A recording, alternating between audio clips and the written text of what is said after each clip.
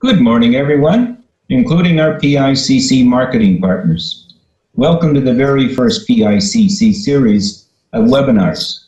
We are extremely fortunate to have Mr. Kelly Bird, ADB Philippine Country Director, as our inaugural speaker.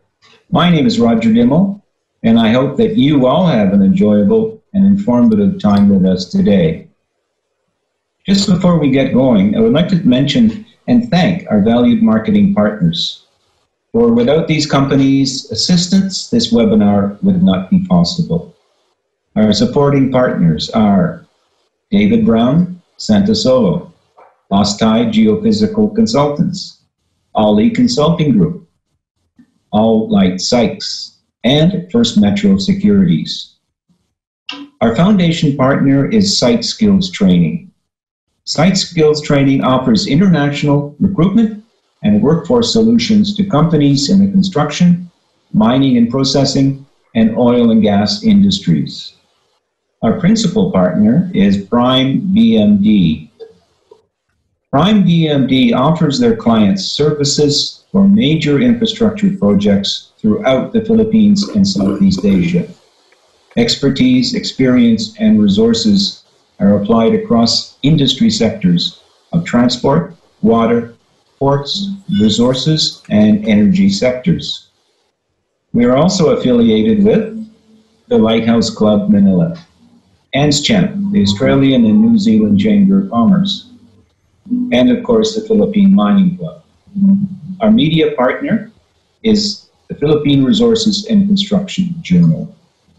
Ladies and gentlemen, may I say a few words about our MC today. A lawyer by training, Leo was previously a partner in Quisambing Torres, a member firm of Baker and McKenzie International, where he headed its energy, mining, and infrastructure practice group. He retired from the law firm in 2010 and soon after set up a consulting firm called Ali Consulting Group Inc., of which he is president and principal.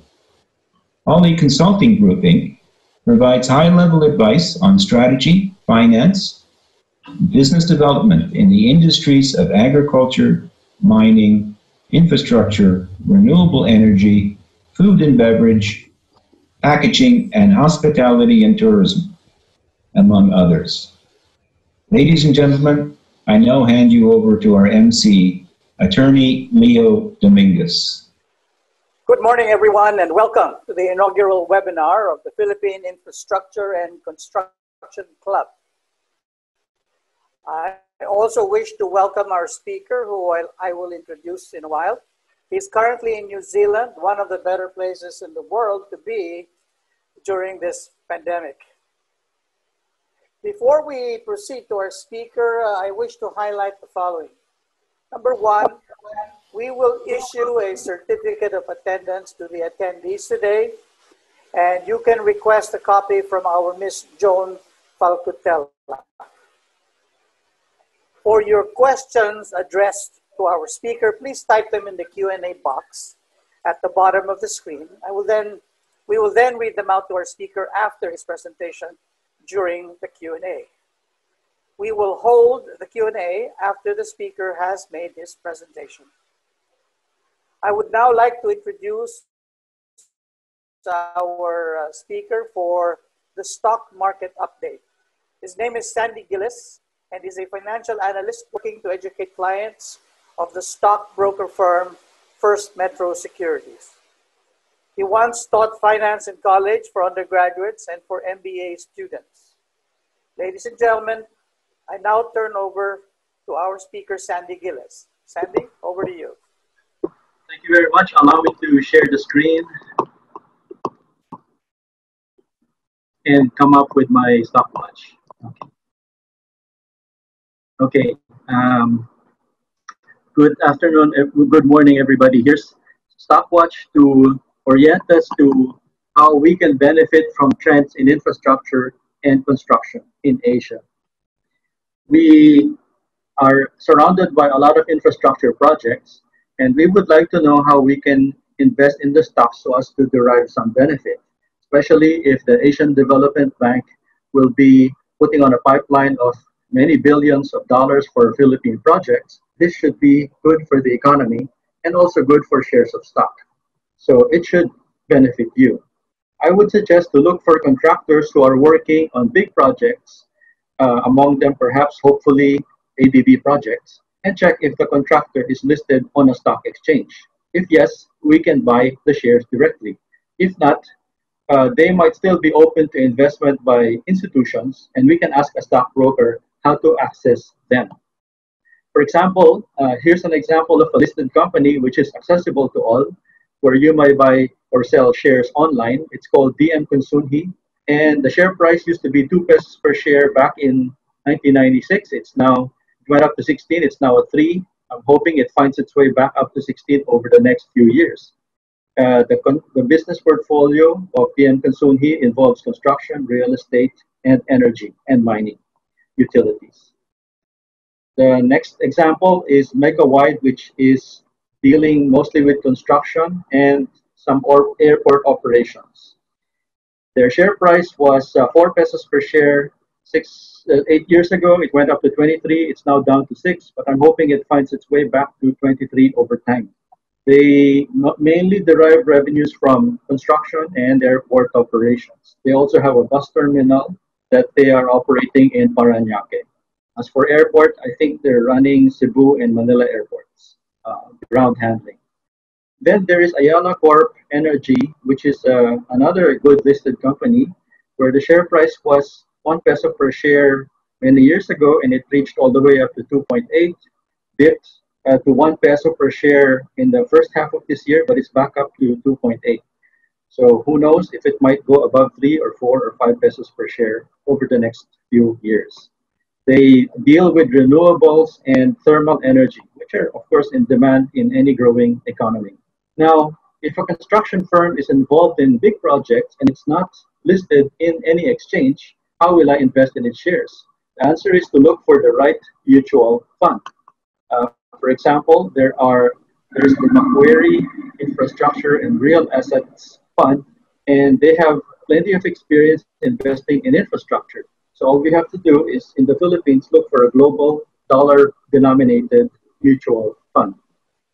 Um, by investing in infrastructure and real assets, savings can grow fast over the next 10 years. At least that was the track record over the past 10 years. Here's an example of an Asia Plus equity fund that allows you to access the growth in Asia and emerging markets. And the reason why we'd want to do that is because infrastructure has led the growth in sectors for the past 10 years. Imagine 10.6% per year for the past 10 years. That's very good. And it might continue given the thirst and hunger of Asia for more infrastructure.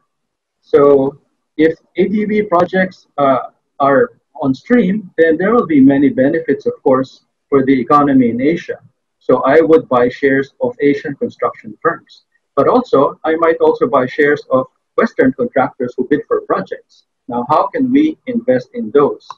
Uh, one way is to, to check where are the big time construction firms listed. They sometimes belong into a Standard & Poor's infrastructure index, meaning they're the biggest and the best, and they're in the top of the list. So we can buy them through a global dollar mutual fund.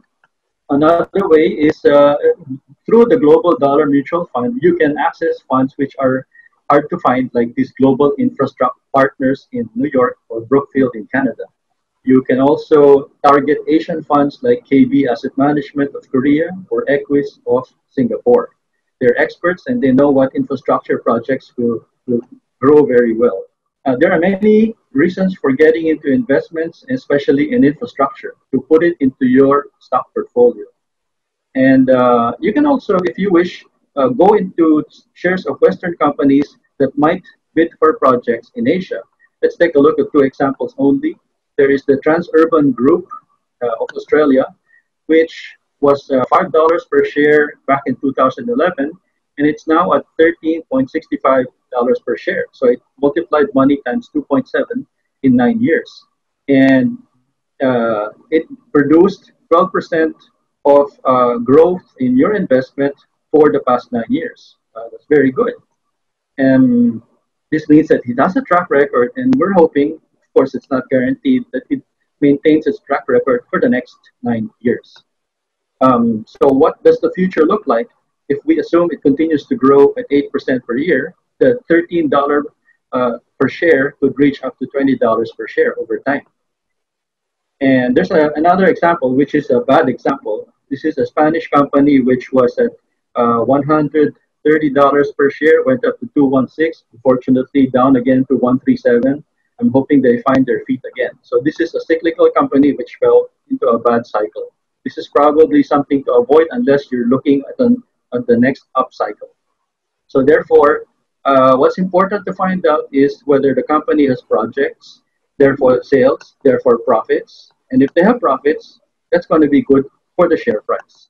Uh, so the two questions to ask is, does the share price go up steadily over time, or is there a cycle? In which case, you have to be careful to catch the positive upcycle.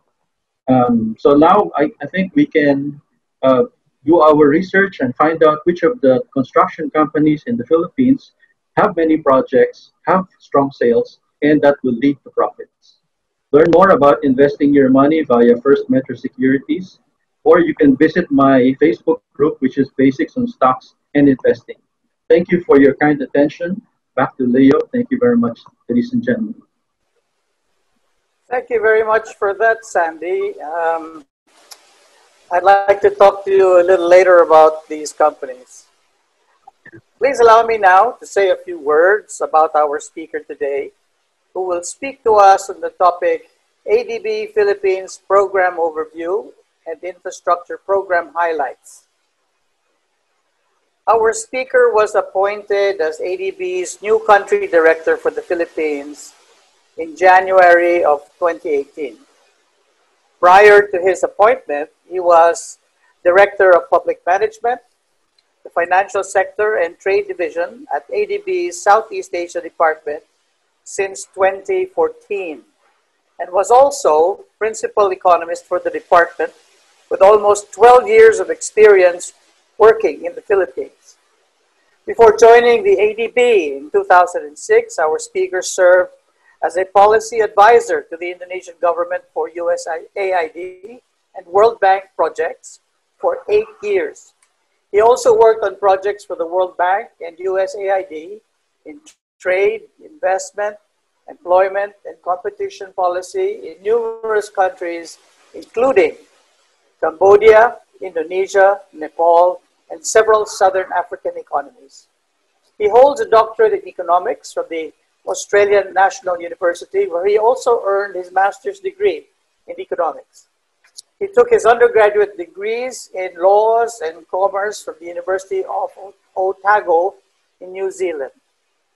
Ladies and gentlemen, to speak to us on the topic ADB's Philippine Program Overview and Infrastructure Program Highlights, I now turn over the floor to Mr. Kelly Bird. Kelly? Thank you very much, uh, Attorney Leo, and uh, good uh, good morning to uh, all the participants. It's uh, certainly my honor to be able to present today on the ADB programs for the first meeting of the uh, Philippines Infrastructure and Construction Club. Um, so in, in, my presentation today, I'd like to sort of split it into two parts. Um, the first part will be spending a few minutes on ADB's overall program for the Philippines, um, our country strategy and our operating business plan. So just to, to give you a bit of an introduction to the to the ADB, and then I'll talk um, go on and talk about uh, ADB's uh, infrastructure programs with the Philippines, um, and I'll talk about some selected projects that are under procurement uh, either this year or next year, which I think will be of uh, interest uh, to a lot of the participants today. So if I go to my next slide, uh, let's to the, the following, yes. So for those who are not so familiar with the Asian Development Bank, um, there, uh, you know, of course, our head office is in Manila. We have over 40 country offices scattered throughout the Asia Pacific region. Um, I'm in the, the country office for the Philippines. Um, there are two important documents that we produce um, that guides our lending, technical assistance, and knowledge program with the Philippines government. So the first one is our country partnership strategy, and that was approved in 2018. Um, and it's a it's a strategy that uh, goes on until 2023. And this really describes our partnership with the Philippines, as agreed with the Philippines uh, government on uh, economic development here in the Philippines. Um, and of course, it's guided by the Philippines Development Plan and also their long term uh, vision for the Philippines, uh, Ambition 2040. Then we have a sister uh, document, which is called our Country Operations Business Plan. Uh, this essentially lists all of our indicative programs and projects that ADB will finance and co-finance um, over a three-year period. So it's a it's a three-year rolling do- uh, program. Um, our current uh, COBP uh, covers the period 2020 to 2022, and that can be downloaded on the ADB website. And that will give you detailed information on the names, the list, the list of programs and projects uh, ADB is preparing and financing with the government. Now, we're currently uh, um, undertaking uh, discussions with government now on our next uh, COBP, and that'll be for 21 to 23. And we are aiming for publishing this document um, in October. And that should be downloadable from the ADB website at that, at that time. If I turn to the next slide, um, this um, this slide shows the key strategic or the strategic pillars of our country strategy, which guides our operations in the Philippines, and we're focusing on three areas: it's accelerating infrastructure and long-term investments, promoting local economic development, and investing in people. And under that first pillar, which I think you know clearly the audience is going to be be interested in, you know, we, we have three different layers of support. We support the policy reforms, particularly on capital markets uh, institutional capacity building. We work with the PPP Center here in the Philippines. Um, we have quite a large infrastructure preparation facility with the government. Um, we also work with the Competition Commission. And then we have uh, our uh, strategic infrastructure investments, which cover mass urban public transport, bridges, pedestrian walkways. But even under the promoting local economic development, uh, we have a number of infrastructure investments as well in uh, sustainable tourism, uh, uh natural resources, and agriculture.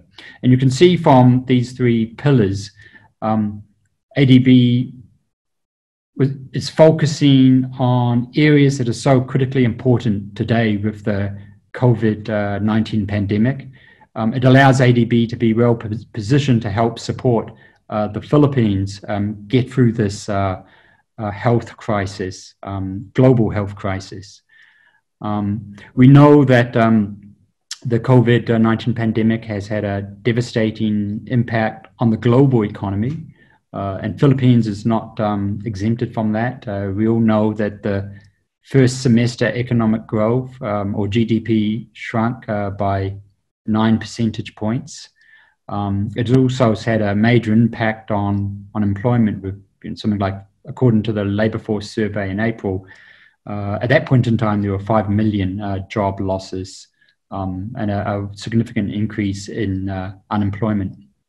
Um, so having this strategy in place really helped uh, ensure that uh, ADB was um, prepared to uh, respond and support uh, the government. And that leads me on to the next uh, slide.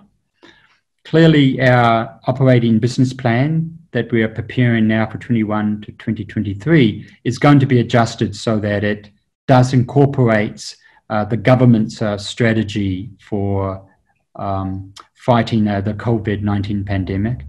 Um, the government does have a strategy. It's a very sequenced approach, and ADB's uh, COBP um, will be adjusted to to be aligned to that. And and our ADB's approach is kind of it fits into those three uh, pillars that we have there on the screen. You know, the first phase is relief. Um, you know, and during this period, it's been critically important uh, to help, particularly the vulnerable families and workers get through the lockdown period.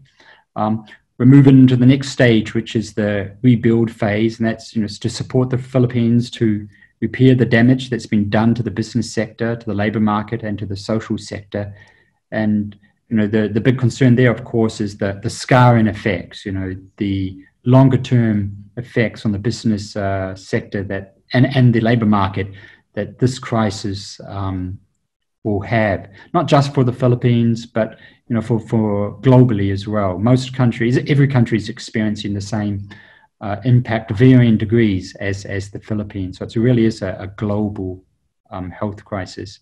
Um, you know, sort of in parallel with the rebuild phase is the recovery phase. Um, so our programs will be supporting, you know, structural reforms of the government, uh, but particularly important, of course, is our infrastructure investments, and we're fo- focusing on those infrastructure investments, which we think will have high fiscal multipliers. And what I mean by that is, you know, a one dollar investment in this infrastructure will have the maximum impact on economic growth and employment. Uh, for, for example, railway investments. Uh, we believe that um, you know a, a, billion dollars in investments in, in railways will lead to uh, 1.5 billion dollars in gross domestic product uh, over two to three years. We also believe that the employment uh, multipliers can be significant, uh, anywhere between two and three times of the employment of the direct employment that's created by by railway investments. Um, if I turn to the next slide, just to give you um, a quick uh, stock take on ADB's support during the relief phase. Um, you'll see um, under our, we've got three components of this, um, helping uh, vulnerable families get through the lockdown. So ADB delivered a, a $5 million grant in March that provided uh, nutritional food to uh, 162,000 uh, households in Metro Manila. And we focused on the, the poorest uh, barangays, and, and we were able to deliver um, two weeks' food baskets to those families, uh, and that accounts for something like 700,000 individuals. And we were able to do that um, fairly fairly quickly. We also provided uh, additional financing loan uh, to the government to help fund the emergency cash grants, uh, focusing on the the 4P families. That's the, the families under the government's conditional cash transfer program, where families receive cash in return for complying with education and health uh, requirements for their children. Um, besides that, we also supported uh, immediate health response. Um, again, back in April, uh, we uh, approved a $3 million grant, uh, which procured a procured and set up a modern laboratory in JB Lingad Regional Hospital.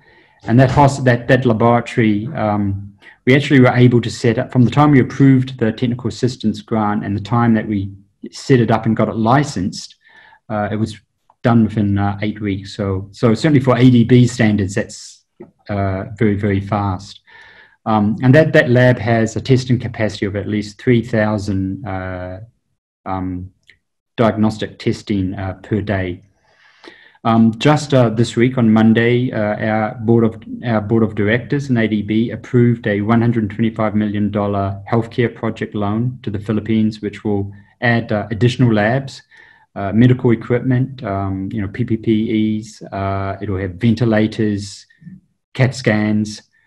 Um, we'll also construct and retrofit uh, isolation wards in 12 public hospitals across the country. So it's quite a major uh, investment loan for scaling up the government's uh, health response, not only for COVID, but also helping to prepare uh, future pandemics, which are, are, likely to happen. And then the third, the third component of our relief phase has been uh, fiscal support. So ADB provided a $1.5 billion budget support loan earlier this year.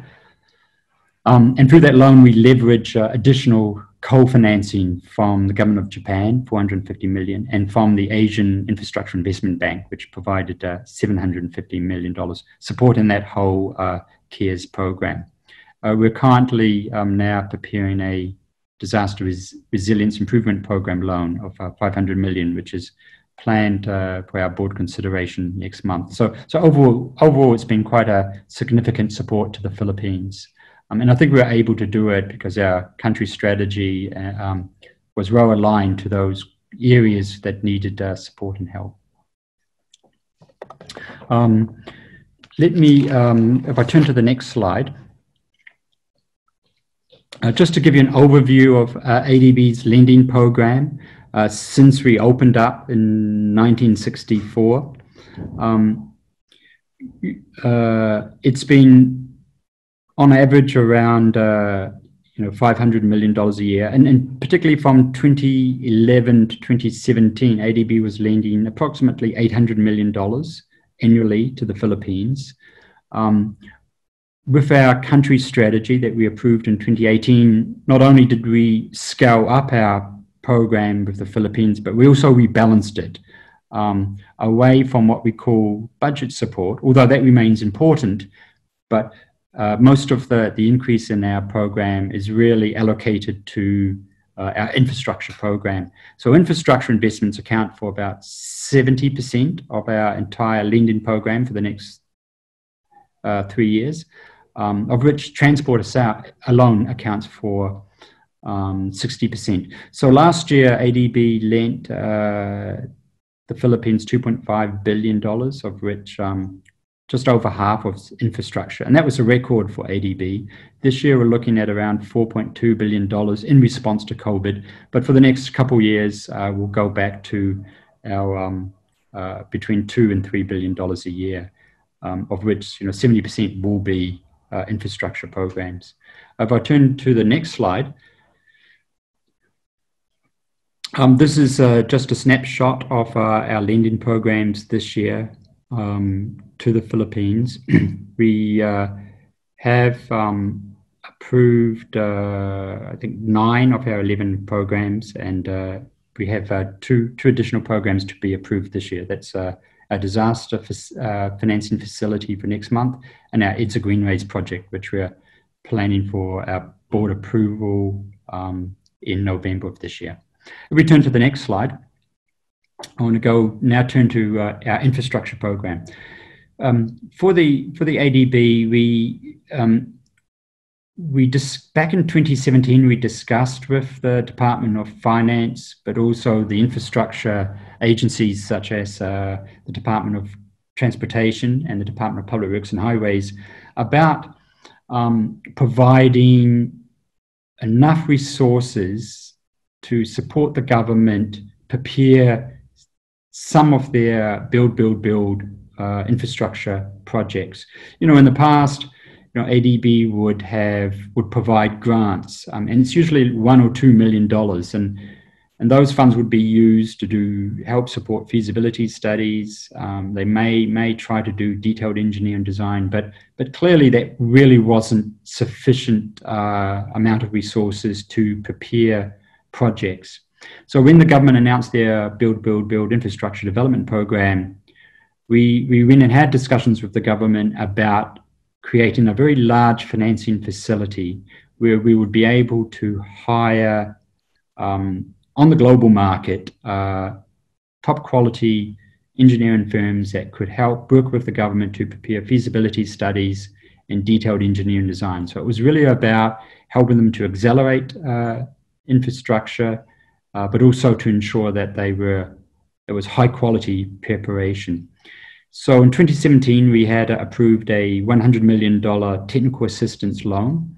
Uh, and then last year, we added an extra $200 million to that uh, to support the government's Build, Build, Build um, uh, program. And I think that's been really instrumental uh, for both ADB and, and, and certainly for the government as well in preparing uh, projects. Um, if I turn to the next slide, I'm going to show a map now. Um, this is a map of Metro Manila, um, or Greater Metro Manila. It uh, lists all our projects that we are preparing, either through feasibility studies, detailed engineering design, and some of them will be financed by ADB. So if you see on the um, top left-hand corner, we've got our Malolos Clark Railway project, which um, is the blue line that you can see in the top there. That's from Malolos to Clark. Um, that was approved last year, $2.75 billion uh, dollar project, of which the first tranche uh, is 1.2 billion. Um, just to the right hand side, we have our Angat Dam transmission, water transmission project. Um, the first project was approved uh, for about $120 million in 2016. uh, this year we provided additional financing to build a uh, transmission uh, pipeline, which is 126 million, and that was approved this year. And I'll talk about that uh, in a while. We also have our EDSA Greenways project, which is an elevated walkways around the common stations uh, along EDSA. Um, uh, just below that, uh, we are also financing the Metro Manila Bridges project, um, and that'll be constructing three bridges um, in Marikina. We're also um, and that uh, Metro Manila projects, that's now under a detailed engineering design stage. Um, for EDSA, we are planning for that to be approved uh, this year. Um, we also have uh, in, in our program the MRT Line 4, which is from Ortigas to Rizal, um, and we're currently doing the procurement of the uh, detailed engineering design consultants. Uh, so we're at that stage now. Um, Below that is the Laguna Lakeshore. Um, through that uh, IPIF technical assistance loan, we have been working with DPWH on a feasibility study. Um, those feasibility uh, study has been completed and uh, DPWH is now uh, moving forward to the next stage. Um, we also have, um, linked with the Malolos Clark Railway project, we also have that South Commuter Railway project, which is also the blue line from uh, um, the uh, Tutuban down all the way down to um, uh, Calamba. Um, that also includes uh, a tunnel uh, for the Manila uh, Metro subway that's been financed by JICA. So the whole, the, the whole cost of that project will be around $4 billion. Now, both the Malolos Clark Railway and the South Commuter Railway, ADB is co financing with the with JICA, the Japan uh, International Development uh, Agency. Um, we also have, finally, we also have the Bataan Cavite Bridge project, which was included in the Build, Build, Build program, but it's not yet, but it's not, hasn't been included in their latest uh, flagship infrastructure projects. Um, we are still uh, um, in the DED procurement stage uh, for that project. Feasibility has been has been completed, and the government uh, um, board has approved that project. Um, uh, so we're just now in the DED procurement stage, and, and that'll be about a 15 to 18 month uh, um, uh, detailed engineering uh, phase. If I turn to the next slide, um, we're also uh, focusing our transport projects on Mindanao as well. Um, we have three, two that are currently being implemented and one that's been prepared for next year. So what you see on, on the western side of uh, Mindanao in the uh, Zamboanga Peninsula, we have our Improving Growth Corridor project. It's a $380 million project that was approved in 2017. And that's helping to construct and rehabilitate uh, roads along that peninsula and also including bridges uh, um, in Tawi-Tawi Island. Um, that uh, it, it, it's, it's designed as a sector development project. So we have a set of three core roads that we've started uh, uh, that will start civil works soon, but it's a facility in a way, and uh, new new roads projects and bridges can be added to that. So we will be um, procuring. Uh, con- consultant services and civil works on a wide range of uh, projects um, uh, over the next two to three years. We also have our emergency assistance loan uh, to Marawi that was approved in 2018, and that's helping to rehabilitate and construct some roads and, and bridges. Um, on the in Davao, uh, we have um, in our program for next year the uh, Davao bus modernization project. Uh, that was approved by the uh, NEDA board uh, back in October of last year, and we're now in the design stage. Um, if I turn to the next, um, the next slide. So I've, got, I've talked about the North-South Railway Project. That's what the government calls it. It's, it's a seamless railway link from New Clark City down to Calamba. Um, it'll link up with uh, the various uh, MRTs and, and light rails uh, in, um, uh, in Metro Manila. Um, as I mentioned, uh, you know, we have the Clark New Clark City Railway, which is in our planned pipeline for 2022-23. We've got the Malolos Clark um, project, which is 53 kilometres. Now, just uh, on the 1st of August, we awarded two contracts worth around $700 million, I think. Uh, one was to a South Korean company that um, is uh, in a joint venture with a Philippine construction company. Um, the other one is a, a Spanish company. Um, we have another three uh, contracts uh, that we hope will be awarded uh, around October. Um, and that'll complete the contracts for the first tranche of the uh, uh, Malolos Clark uh, Railway Project. South Commuter Project, um, we have this for approval for next year, early next year, but you know we've done a lot of uh, advanced preparation for the project, uh, including for procurement, and so the Department of Transportation and ADB are targeting to advertise the bidding of, of seven civil works contracts at the end of this year uh, and uh, with contract awards by the fourth quarter of 2021. So please keep an eye on uh, the ADB website, business opportunities for when those, um, and also DOTR's uh, website for when those uh, bidding documents for the seven contracts will be uh, advertised. Um, uh, just a, um, a, note on our railway projects. What I really like about the railway projects is that you know these are, clean, clean uh, or green investments. Um, they will help to reduce uh, CO2 emissions. Um, they're going to be designed uh, so that it provides three different speeds. So from the fast train from Manila to the international airport should get passengers there within one hour from Makati to the international airport. So it'll be so that'll be the fastest train. It can get up to 160 kilometers, 160 kilometers um, speed. Um, but then there will be other um, slower trains that will connect uh, a larger number of um, uh, stations. Um, if we turn to the next slide, this is just a artist's impression of the uh, station in Blumentritt. Um, it will be a common station that will link the uh, North-South Commuter Railway with uh, the MRT lines. Um, if we turn to the next slide, uh, you know, our Angat Water Transmission uh, Improvement Project, additional financing, that was approved uh, in June. Now, in this map, you'll see that green dotted line. That was our first project, uh, which was the, the Tunnel 4, going through the mountain from the uh, reservoir. Um, that was a, that's a 6.5 kilometer tunnel. Um, it's been completed now, uh, and it was completed three months in advance. So we're very happy with uh, the progress of, of that project.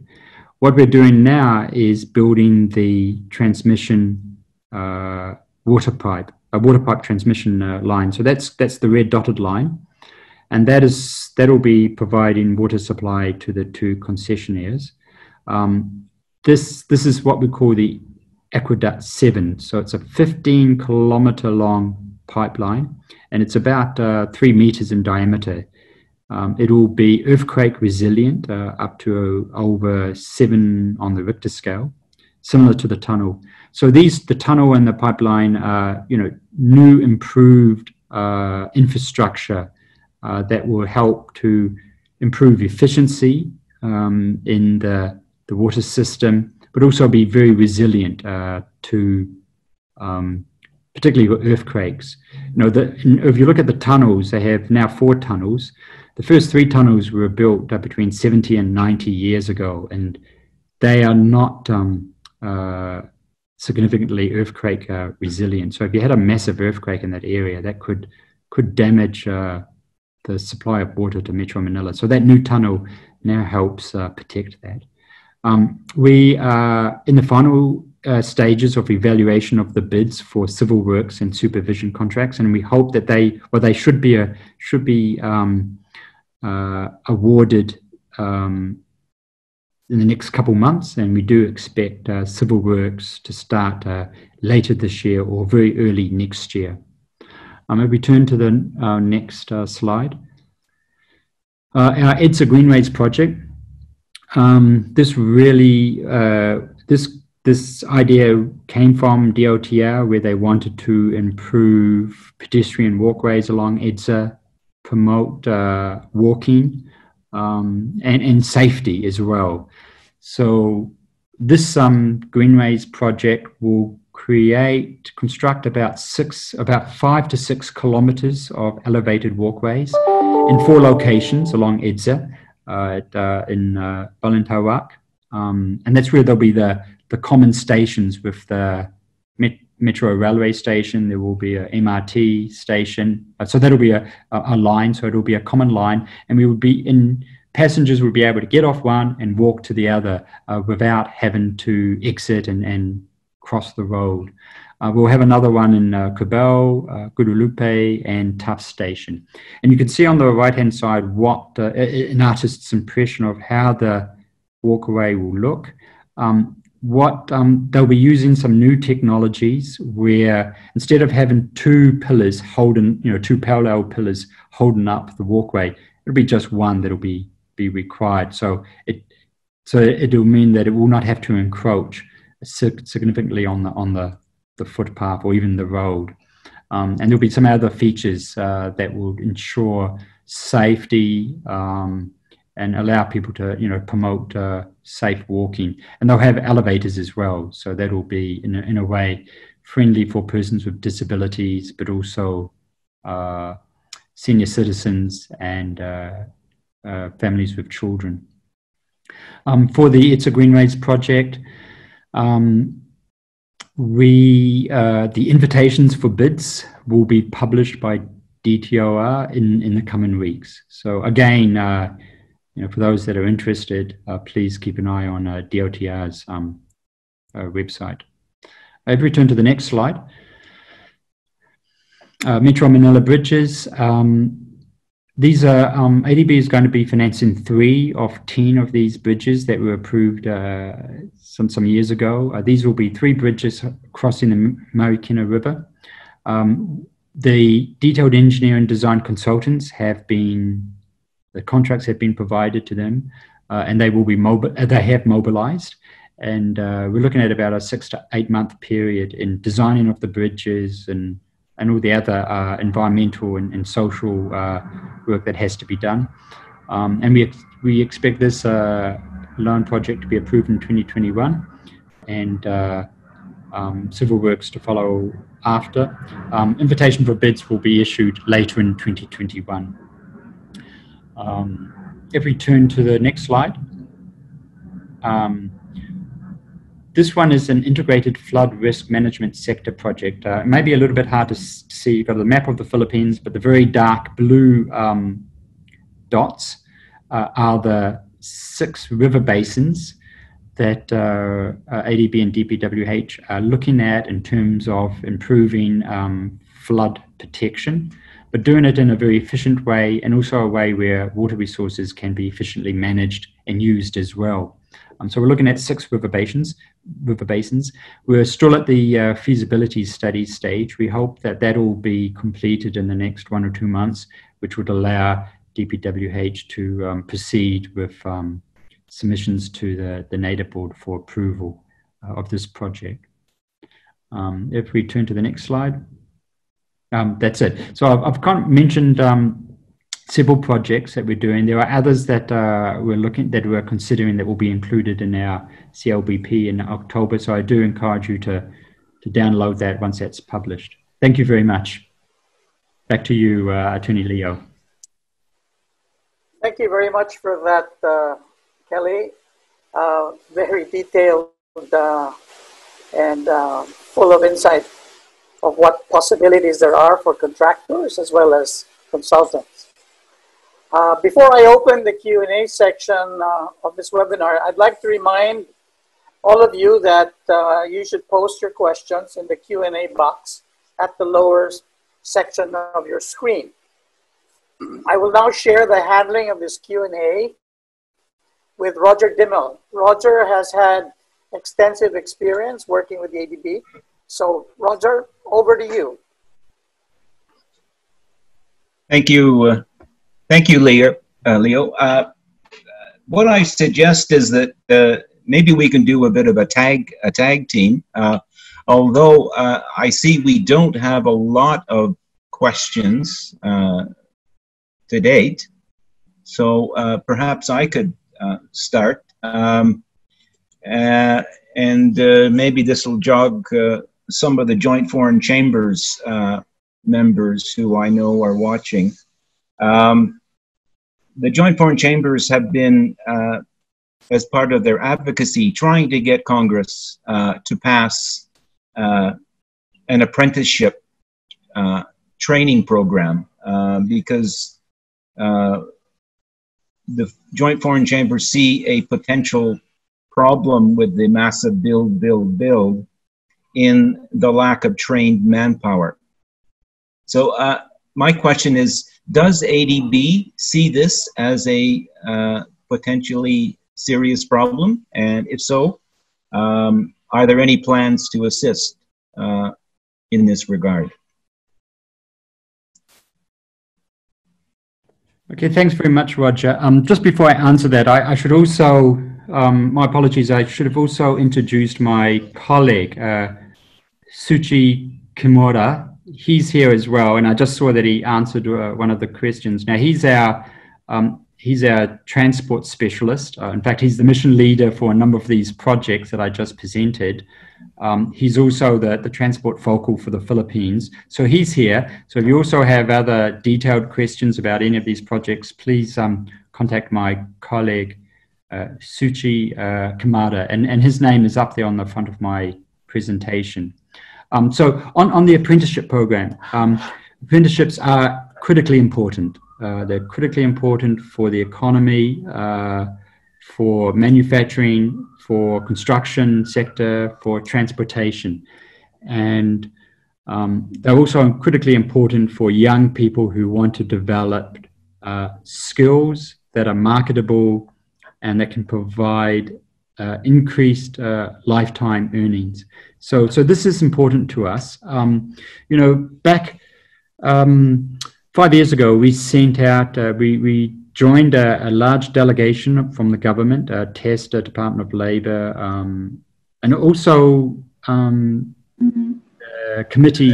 committee uh, the, the, the, Senate, uh, we also had uh, people from Congress that joined us as well. And we went to the Republic of Ireland and we looked at a number of their skills projects and programs, and they had just reformed their apprenticeship programs.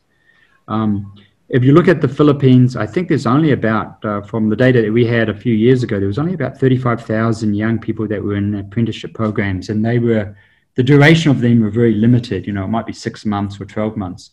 Um, so I do, I do think this is an important area for reform. Um, ADB has provided uh, some support in the past in terms of, uh, you know, I mentioned it was the, the study visit to Ireland, but also providing some uh, good practices in other countries, uh, covering, uh, you know, how do you develop those programs and who should develop them and, and the duration of those programs. Um, they should be industry led. Um, we do have in our program a TVET project that we will have approved uh, the standby for 2021. I didn't discuss it today, but that's also working with TESDA to improve skills training and funding. Uh, and uh, we hope that apprenticeship uh, reforms will be included in that in that project. But I do um, certainly would like to reach out to the joint chambers of commerce to you know to to also discuss how um, you know ADB can can work with them and with the government to improve uh, uh, apprenticeship program. Okay, thank you very much, Kelly. Um, we have a, a question here uh, for from Mr. Anonymous. Uh, he's asking, Sir, we are manufacturer of plants and equipment for construction and infrastructure. How do we know the contractors of these projects? Now this, oh, sorry, this is from Robert uh, Belchica of Aztec Industries, Inc. Um, so maybe we can, uh, both for consult, uh, consulting firms or and people who may be interested from the consulting side could you just go over the the relative sites that they should be looking at in order to identify the uh, potential opportunities that may be coming up. So, um, and I can ask uh, uh, Suchi to also uh, add to this, but you know, ADB's website has a particular page called Business Opportunities. I think it's good to register with them. Uh, and you can register with ADB. We call it the CMS, and you register your company, and you can also get alerts on uh, consultant services that are going to that have been advertised, or even um, uh, advertisement or invitations for bidding. Um, so please um, register with ADB. Uh, go to the CMS. You register your company and your name, and they will send you out alerts. But also always look up, you know, on a weekly basis that uh, business opportunities. Also look at if it's a transport project, um, connect with the Department of Transportation's uh, website, and if it's on other in- infrastructure, uh, DPWH. Uh, we do know that once um, the, de- the particular department has shortlisted the large construction companies, uh, that is also uh, sometimes uh, published by the agencies as well. You know the the shortlisted companies. Um, if Suji, are you if you're still with us, is anything else you would like to add for that?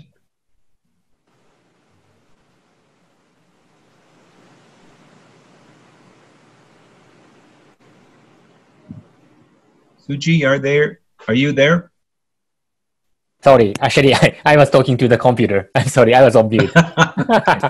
yeah, we all so, we all do that. yeah, and sorry. So uh, basically, you know, all the information we can uh, disclose is uh, on the website. So please check ADB, the business uh, opportunity website. But I know that you know some uh, the contractors already have some agreement with the suppliers before you know uh, submitting the proposals to ADB.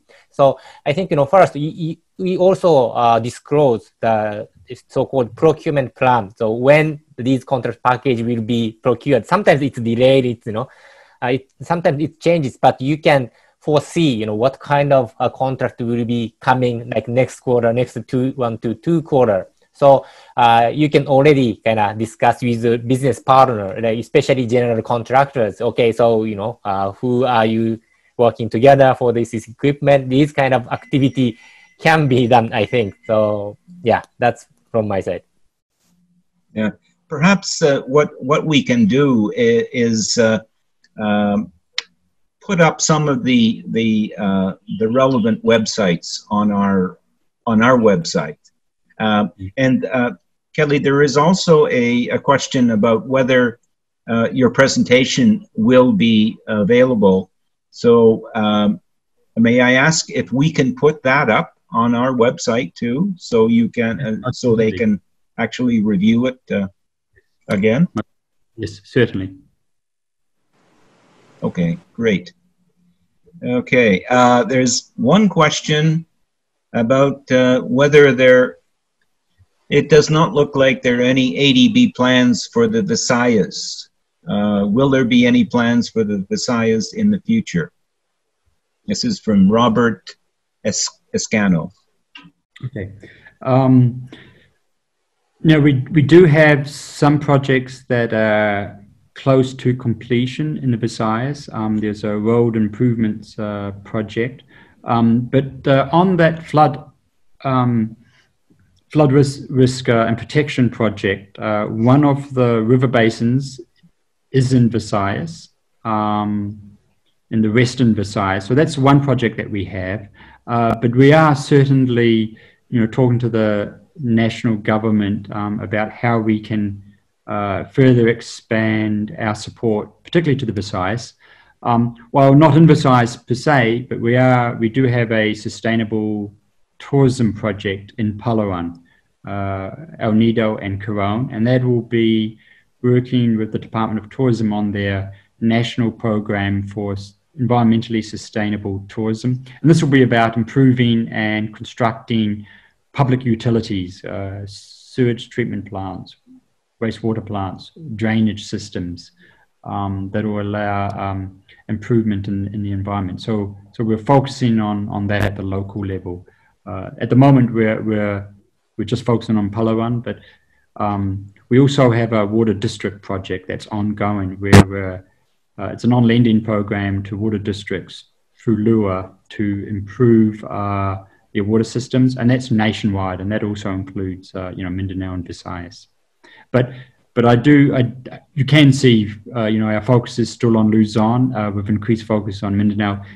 We would like to to to look at uh, engaging more in Visayas as well on on the infrastructure. Thank you. Uh, thank you, Kelly. Uh, there's a couple of questions related to the EDSA green, greenways. Um, uh, one is, uh, will there also be any facilities uh, for bicyclists um, that will be integrated in that in that project? Um, okay, I'm gonna uh, hand it over yeah. to Yuji because he's yeah. the mission leader for this project. yeah. He knows every detail. Yeah. Okay. Thank you very much for asking. Actually, you know, we had discussions uh, with DOTr and also consultant. Um, yeah. So, but uh, in, in, conclusion, at this moment, we will not include bike lane on the elevated section because basically, you know, current walkway plan is within the kind of diameter of like 500 meter from the stations. So to uh, improve the uh, the comfort and ben, you know of access to the stations. So currently, uh, the MRT LRT one doesn't allow uh, bicycle in the trains, and uh, also actually the width of the the uh, walkway is kind of limited. it's not just because of the land, but like structural technical reasons, and also sometimes firefighting activity required some space, so we couldn't widen the walkway, you know, at certain point. So now currently, basically, the walkway width is limited to like only five meter. Like an effective width is like four meter only. So it's honestly difficult to allow, you know, both bicycle and the pedestrian on the same slope. So uh, yeah, current idea is uh, okay. Let's you know uh, dedicate this walkway to the pedestrians. And we may able to create some space on upgrade level because you know we are bringing up these pedestrians up. So we may be able to create some space to for the bicycles on uh, at grade level. And also as i mentioned that this elevated section is like only 500 meter. This is for pedestrians it's kind of quite enough length. But for uh, cyclists, it's quite short. So uh, it may be good to, you know, keep, they can keep at grade level, you know, go through these sections. So this is, you know, current idea. But for sure, uh, this, you know, creating bike lane is not a big deal. So after some discussions, you know, could see the demands, you know, DOTr may be able to, you know, decide, okay, let's, you know, uh, use like 1.5 meter space for cycling. That may happen but you know as i mentioned at this moment the effective width is only like 4 meter and it's not enough safe for the pedestrian to allow uh, bi- bicycle on the elevated section. Thank you. Suji there there has been some suggestion that you put the bicycle uh, paths above the the uh, the walkways. Um, so perhaps that could be a second phase. Um, yeah. Uh, when and if they, these these walkways will be extended.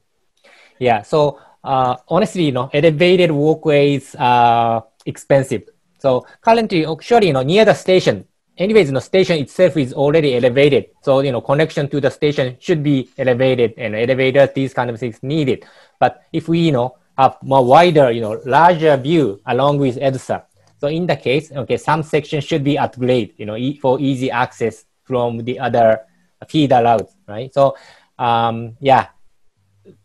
Okay, so future for you know in the future uh, cycling network, you know, we will the DOTr and us uh, will uh, think about uh, what is the best option uh, to allocate some space for the bicycles. You know, this is, should be uh, discussed in like larger network basis. Okay, thank you, Suji. Uh, there's a question here uh, about the uh, 240 million Davao Public Transportation Modernization Project. And the question is, does this refer to the train project of the government? I think uh, this question is referring to the proposed uh, Mindanao Railway. Okay, uh, no, can I get it? Yes, go ahead, Suji. Okay, sorry. Uh, this project is also uh, my project.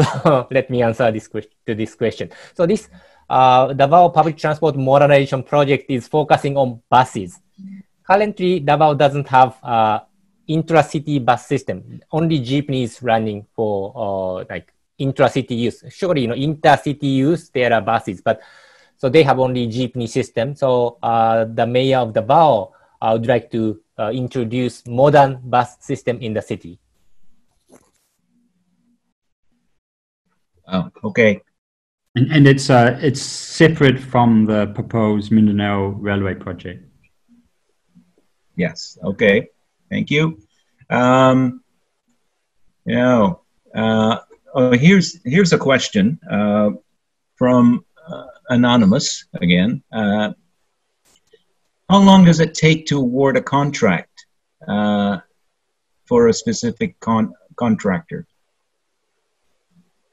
This is rather an open-ended one. But Yeah, so, so maybe I can uh, uh, start, and then Suji can provide some more information. But you know, in um, eh, you know, everyone everyone here is uh, in the construction business, so you know that uh, the gestation period for a project can be quite long. From the time you come up with the idea, you do the feasibility study, you got detailed engineering design, and then on the ADB side, we're financing. Uh, we have requirements for environment safeguards, resettlement safeguards. Um, so that, that process typically can take, um, depending on the complexity of that project, two to three years. Um, what we've done in, in recent years is working closely with the government where we're able to con- compress that period, that, that process. So you look at the Malolos Clark uh, project, we're able to, from, from our own concept uh, design, you know, working with DOTr and, and JICA, um, and us, we were able to get that done in basically 18, 18 months, everything done and get it approved. Um, now, for us to go into contracts, you know, um, so in an ADB finance project for contracts, we can do a lot of upfront work. We can send out the invitations for bidding before we get it approved. But of course, we can't um, have a contract awarded and signed uh, until, of course, the loan is, is signed. Um, but they've also we've got a number of requirements for environmental and, and um, safeguards. So from the time that project's been approved, say by ADB board and, and signed with the government, uh, the procurement process and, and signing a contract can take up to up to one year, depending on the complexity of, of that project. So, for example, the Malolos Clark uh, um, project, we you know essentially about a year uh, to uh, go through the whole whole process because we've got to go through evaluations, you know, the, and and we also have a following ADB procurement guidelines. We have set times for each step of that process um, to ensure that it's uh, transparent and everyone has opportunity to do their due diligence. So it can range, you know, but uh, anywhere between six months and uh, 12 months. If it's a detailed engineering design uh, contract, that can be uh, anywhere between four and six months. But for civil works, it can be anywhere between six months uh, up to 12 months as an average. Sometimes it can go longer. Uh, Suji, is there anything you want to add to that? Uh, nothing much, but so yeah, I agree that uh, uh, that I think you know this is a contract uh, process duration, but it's up to depending on the complexity of the project. My, in my experience in Philippines, the shortest one is like seven months. That you know the civil uh, civil works contracting award, starting from the advertisement to award. It my uh, ex, in my experience, shortest one is seven months, and you know like up to uh, a year. So this is my experience. Thank you. And if I may add uh, something here, also it really depends on, uh, you know, the con- contracting process is of course longer than the consulting uh, recruitment process. Uh, uh, those, uh, and I see we have a number of consulting firms here. Um, the, the choosing of consulting firms usually goes a lot faster than the contractor, uh, simply because often it's ADB doing the uh, the procurement system, uh, or sorry, process. Uh, and uh, also, it's it's not as arduous. You know, there's there's not as many things that you have to do. So, uh, so consulting firms, and there, I would just point out there are many uh, ways in which you can monitor, uh, as as Kelly has said, to monitor the procurement project. it, it is a lit da- a bit daunting when you first go on the website, but uh, um, I think it's worth it. Uh, all of the information is there. In my experience, ADB is a very transparent organization, perhaps uh, far more transparent than some of their sister IFIs like the World Bank. Uh, so um, I would encourage you to do as much background as you can on the ADB procurement process because it'll pay off in the end. Okay. Um, there's a, a, question here. Um, what is ADB doing to ensure the long-term viability of built assets?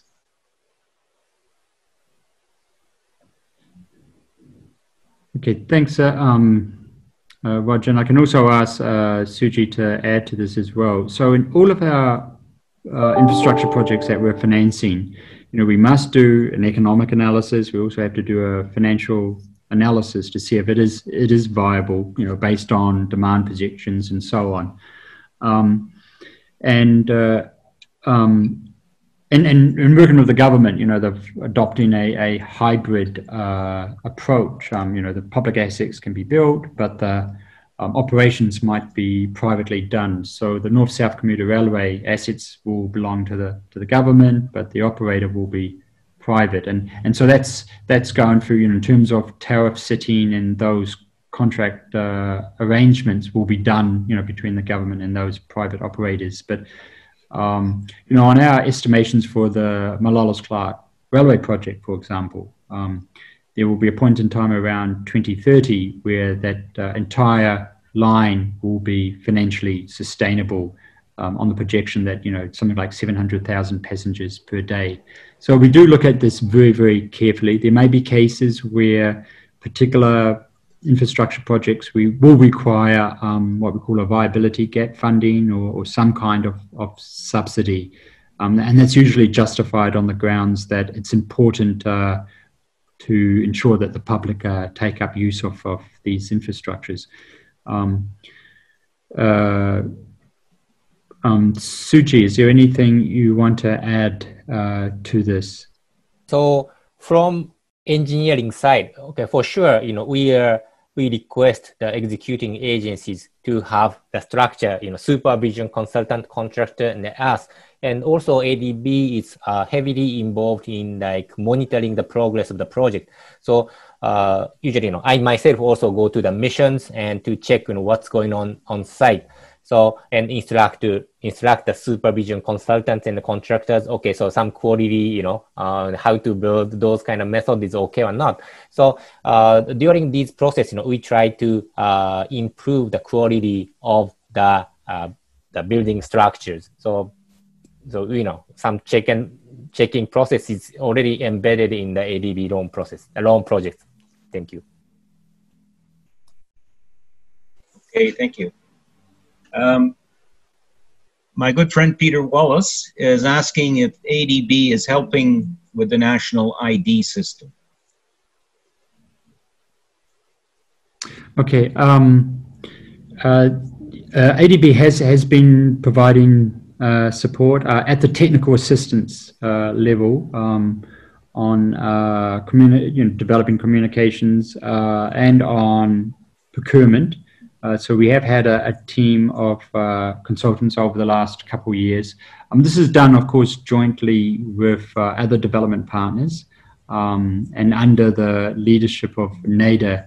Um, uh, this is a project of the Philippine Statistical Agency, but uh, they have a council uh, with a number of the number of government stakeholders and uh, other other stakeholders. Um, it's led by NEDA, and uh, and they've coordinated it uh, extremely well. And ADB is one one part, one of the uh, development partners that are providing um, specific uh, technical assistance um, over the last uh, 12 to 18 months. Um, we also have been, uh, and, and I, um, I think the, the government's target is to to start registering uh, 5 million Filipinos in the first phase of the um, uh, rollout, uh, which would um, we all hope would start around November, December, or, or a little bit earlier. Um, uh, it's also been supported by our financial inclusion um, program, uh, and that loan was approved a couple of weeks back as well. Um, so we, we have provided support through technical assistance, but also uh, through our financial inclusion um, reform program. Okay, thank you, Kelly. Um, I have a note from our MC, Leo, who uh, has received apparently a, a, few questions over his text uh, messaging. So I'll just turn it over to Leo uh, for him to raise these questions. Thank you very much, Roger. Um, one question is, does the ADB provide funding for solid waste management and WTE projects, particularly in outlying municipalities? Okay. Um, on, on this one, we do, um, we have uh, a number of possibilities. So um, for wastewater management, um, for example, our Sustainable Tourism Development Project, uh, which has been prepared uh, for next year in Coron El Nido. That's um, uh, ADB will be supporting the financing of that kind of uh, infrastructure. Um, uh, it, and, and it comes under our livable cities strategy. Um, we have, uh, and as I mentioned earlier, we have a project with LWUA that's on lending to water districts to help them improve, uh, rehabilitate, improve efficiencies of their water systems. So, so we do do it. Um, the way that it's done, though, is that it has to be, uh, if it's a sovereign loan, which is a loan from ADB to the government, it has to be a project that uh, is a project of national government agency in that particular sector. It also has to be approved by the NEDA board before we would um, look at financing it. But we also have, um, that's for the sovereign, we also, of course, um, work closely with the uh, PPP Centre. We have quite a large technical assistance, which um, uh, where we have provided funding for their transaction advisory um, fund. And so the PPP Centre will also work with government agencies and LGUs in preparing uh, that kind of uh, urban public infrastructure. And we also have our own office of PPP at ADB that, uh, again, working with LGUs, can actually provide uh, transaction advisory services to bring such uh, projects to the market. And then we have our private sector department, which, uh, which works with the private sector, either through loans or equity. Um, and of course, they can look at, they will look at uh, companies that have a, a, good development impact. And, and uh, it can be SME financing, microfinancing, which is what we've done in the Philippines, but it can also be um, uh, public uh, utilities like uh, wastewater management, uh, sewage treatment, water supply system.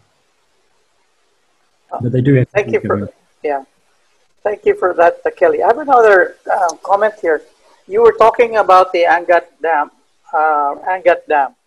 There, there have been reports that uh, the West Valley fault intersects the very old original dam wall, which is over probably half a century old. Um, has the ADB been involved in a review of that? Uh, the strengthening of the original Angat Dam wall in, in light of the West Valley Fault intersection of it? Um, to my knowledge, no, we have not been in, involved in a review of that. Uh, our, our work's been um, confined to the, the tunnel and the water transmission project. I see, because apparently it's quite, uh, it's quite important because if that West Valley Fault moves and it hits the dam wall, uh, the Angat uh, municipality is going to be under 30 meters of water immediately. Yes. Yeah. So, so, Yeah, so, so certainly um, I convey that to our uh, team back in ADB, you know, and, and they can also talk to MWSS about that as well. Yeah, thank you. I, I'm done, Roger. Okay, thank you. Thank you, Leo. Just let me know if you receive any more questions. Um, Yes. I have a question here um, from Jim Nichols. How do you know the funds you release for humanitarian causes and needs actually benefit the people who need it the most? Do you have checks and balances to place in place, sorry, to monitor and report progress and end results? Okay, now that's that's a, a very good question. So in all our projects, we have a, a system that's established on monitoring, you know, on the field monitoring and financial management. All projects would uh, be have to be audited, uh, and then of course um, an external audit by COA. So there is a whole set of checks and balances and safeguards that we've established with the Philippines government for, for many years.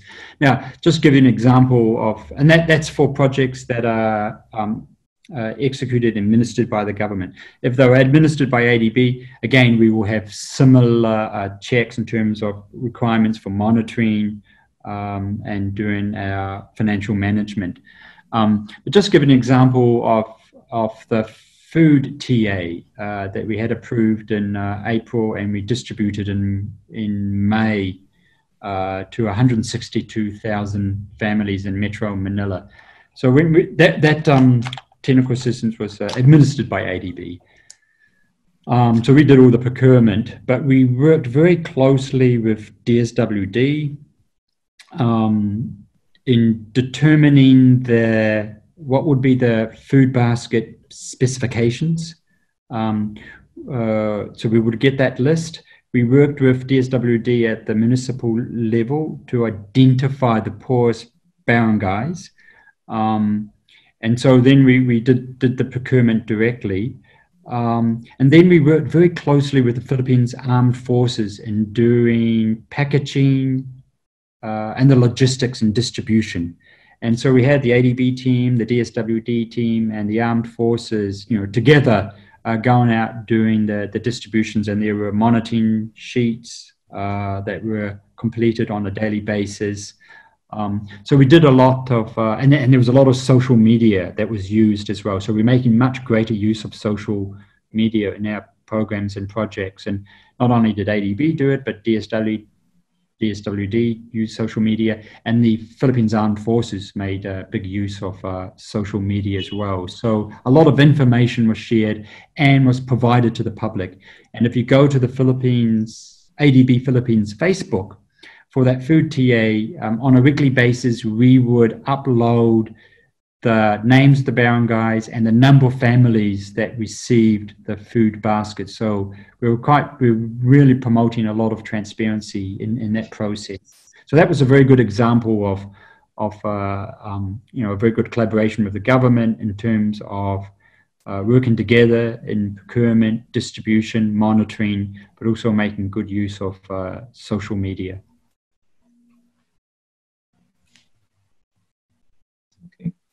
Thank you, Kelly. Uh, uh, here's an interesting one. Uh, how does the Philippine government able to pay for all of these loans? Does the ADB have maximum limit of loans to be granted to the Philippines over the next few years? Okay, I, I think the most important uh, um, part of this process is that um, the government itself uh, when it does its budgets and it does its uh, sort of planning for debt issuances, it always does a debt sustainability assessment. So they do it. The, the Philippine Treasury does it on an annual basis, and they do a fiscal risk statement that's attached to the budget. Um, so they go through the numbers and they look at what is sustainable, and that's how they set their deficit parameters and their debt issuances. And within the debt issuances, they will look at uh, uh, domestic issuances against dollar denominated ones. And, and, certainly over the last 10 years, they moved towards the domestic market where 70 to 80% of all debt issuances are in peso in the domestic market. And then you've got um, uh, the remainder in, um, in uh, dollar debt. Um, so the government looks at this very, very careful, carefully. And this government in particular uh, watches over it very, very care- carefully. They uh, have been, you know, over the last 10 years of fiscal consolidation and fiscal uh, um, response uh, responsibility, they have managed to get, uh, you know, an upgrade now to, you know, triple B plus, which is a very good investment grade uh, for the for the credit sovereign ratings for the Philippines, and you know, they're just one notch below A minus. So they've done very well in that area. So it's very important to the Philippines. And of course, ADB will always kind of look at that as well when we set, that's taken into account when we set our, our resource allocations for our DMCs. Um, but the fact that the Philippines has uh, had uh, managed their um, fiscal deficits and their debt issuances over time, and they got down to well below 40% of GDP uh, pre COVID um, that that's allowed ADB to increase their uh, ceiling now to to three billion dollars um, annually. Okay, thank you, thank you very much. Um, I understand that uh, Jun Palafox has raised his hand. Uh, so, Jun, if you have a question, you can you can ask it. If you're listening if you're still there.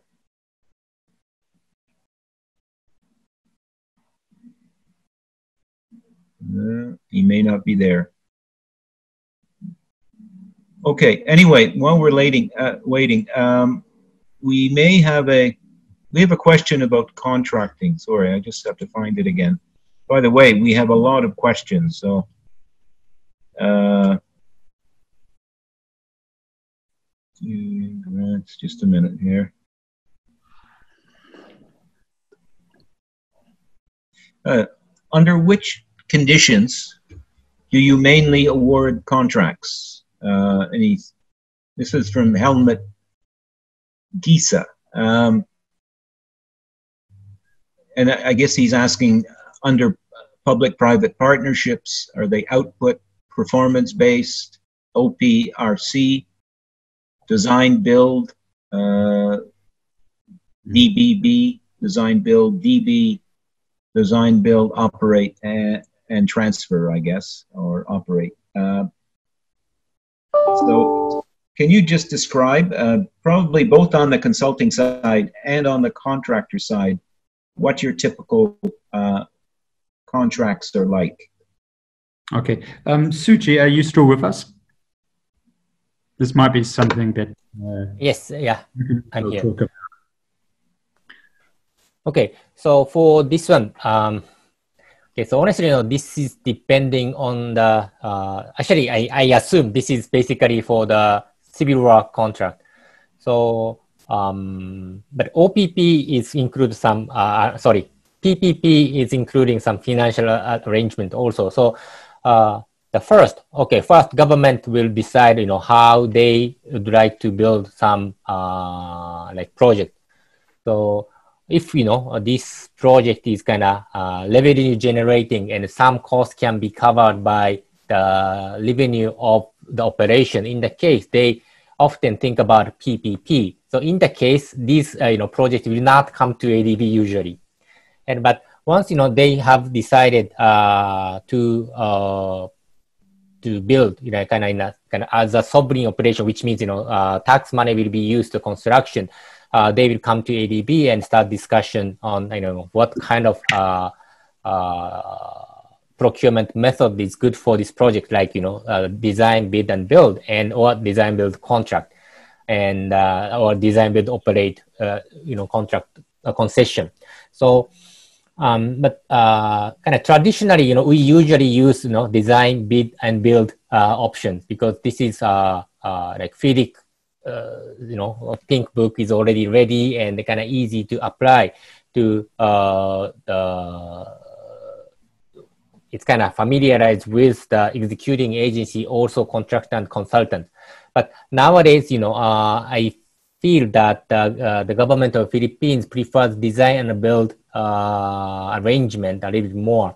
So uh, this is, you know, depending on the uh, the you know characteristics of the project and also desire of the government you know how to you know uh, the kind of including timeline on the responsibility those kind of things so it's kind of difficult to say you know in the short term you know which project should go to design bid and designer bid but so i i'm sorry but i have to say that it's case by case basis you know we uh, discuss with the executing agency what is the best option for the uh, the modality of the procurement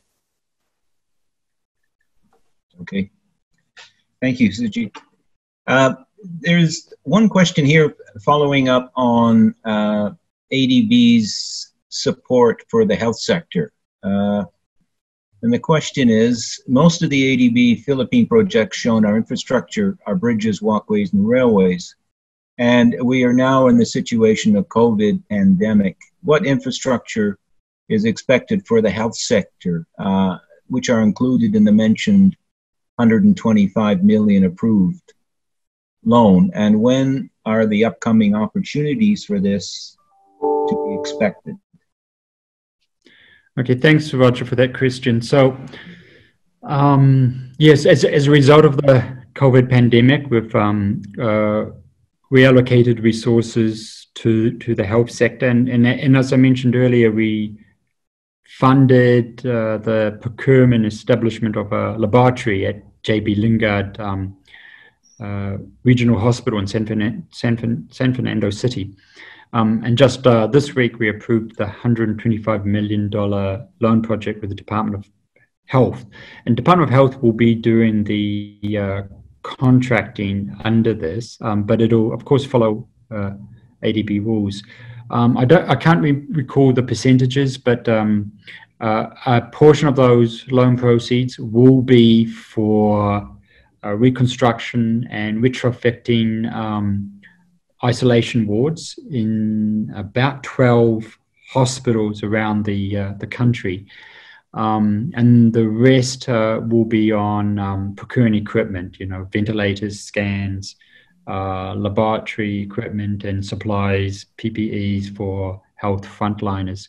Um, but again, for the actual civil works component, um, we would hope that um, those invitations uh, for bids will be uh, issued in the next um, three to four, two to three, two, two to four months. So again, please keep your eye on that.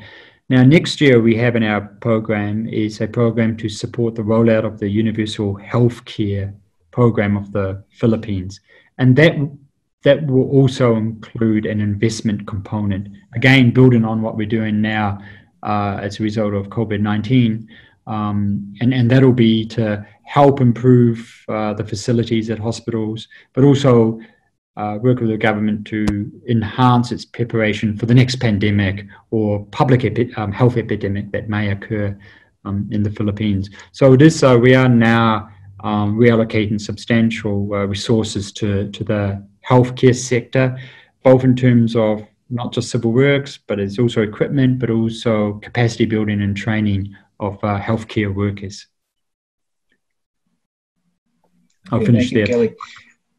Uh, actually, I have a quick follow-on question. Are you involved at all in the in the testing and contact uh, tracing efforts?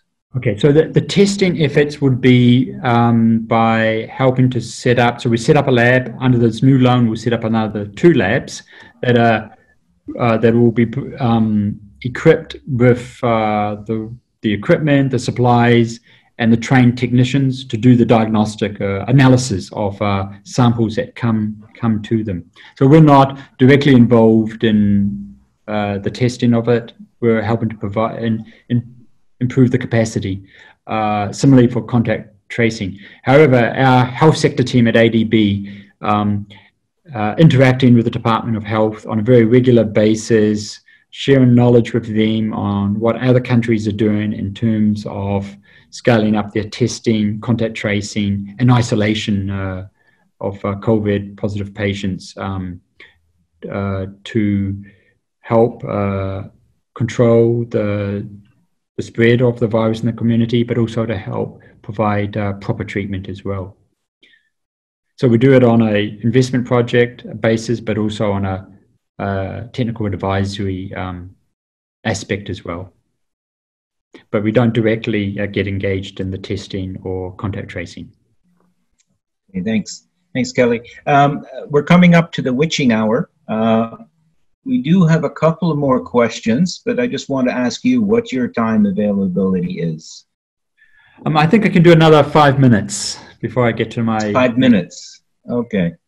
And and you know, okay. Roger can also collect all those other questions, and you can send them to us, and we can provide a response, and you can also circulate it to your um, members as well. Okay. Okay. Very good. Uh, okay. There's there's a question here uh, about the, whether LGUs can avail of ADB funds for their local projects. Uh, and it says, if, if yes, what are the requirements? Uh, projects being eyed are mini hydro, public market, hospitals, roads, and other projects.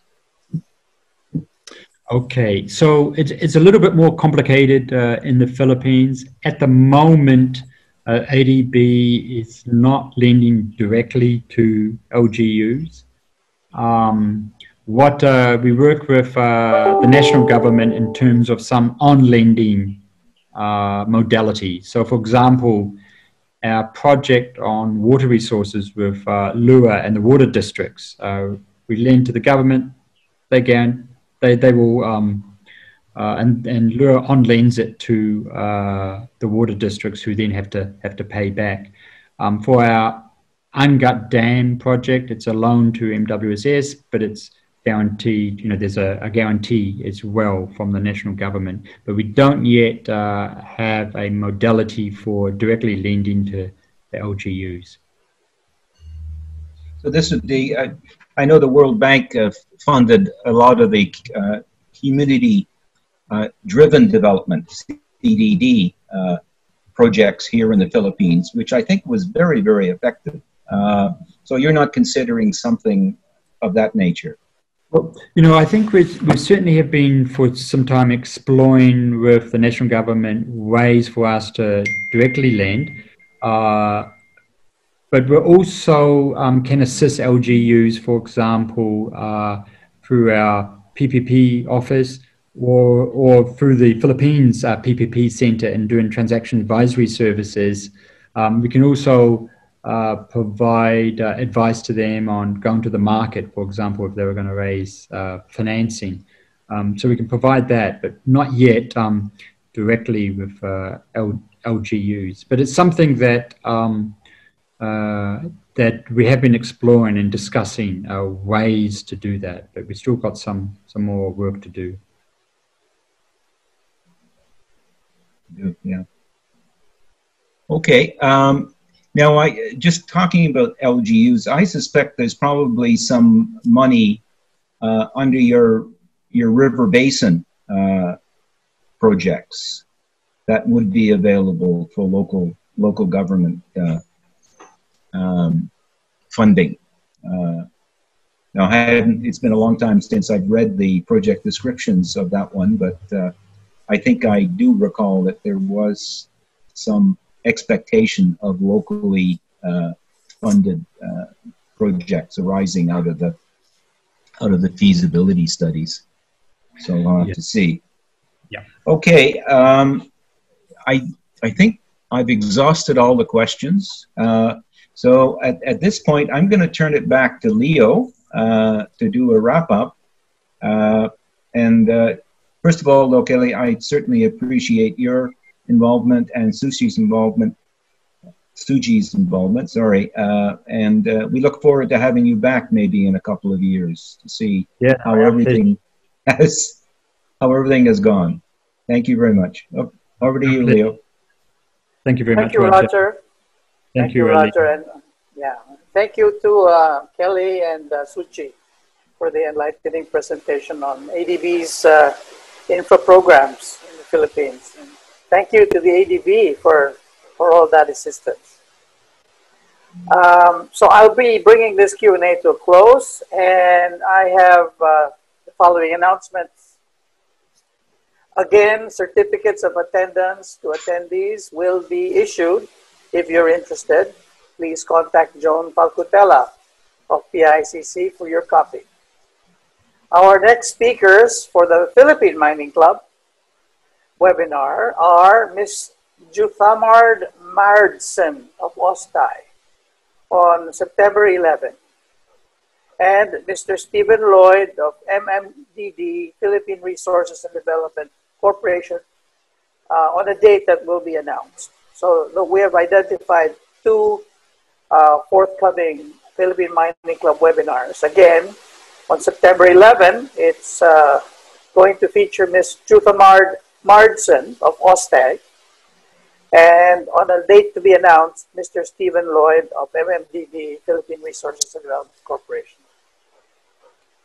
At this point, uh, and I think this is quite new to me as well, you can now turn on your cameras for a photo op.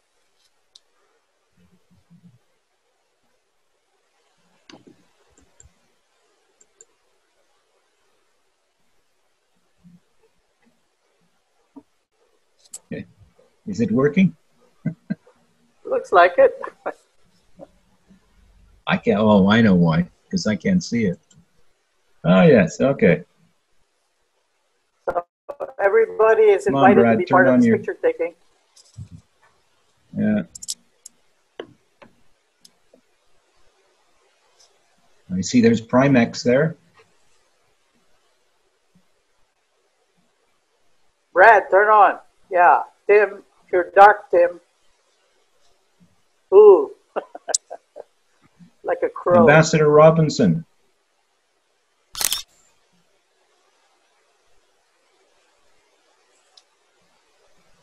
Mm. Sean. And we still have a few to fill, fill up the screen. Hi, Annie D. Joey, hi son, hello. Hi Leo. Hello. Hi Leo. I don't know how you're going to fit 100 people in one screen, but it's okay. It's a challenge. Yeah, I asked the question when the organizer said we're going to do this. it's a problem, but it's a good problem. they get. yeah, the smaller they get. It'll be like one of those pictures of Jesus Christ with all the words in the Bible. Uh, let's hope that the, the collective photo becomes also interesting enough. Hi, Roger. Hi, baby. How are you? I'm good. Still working from home. and and winning ADB projects, I hope. Yeah, we just won uh, a project in Tajikistan. Very good. Wow. Laos. Wow. Sandy Gilles, get on. Yeah. Sandy Shy. Shy. Fernando's there. Oh, sorry, my computer doesn't have a camera today. okay, Sandy. Okay, thank okay, you. Well, this doesn't look like we're going to fill, fill the screen, unfortunately. All right, I guess uh, we've given enough time for this. So uh, let me continue to bring this day to a close. So thank you, all of you, for, for being with us today and uh, for your continuing support. We expect, we, we hope to get your continuing support for the Philippine Infrastructure and Construction Club. This is our inaugural webinar, and we're so happy that you've joined us today. And we look forward to seeing all of you again and more uh, at the next uh, PICC webinar. So thank you and good afternoon. Good afternoon, everybody.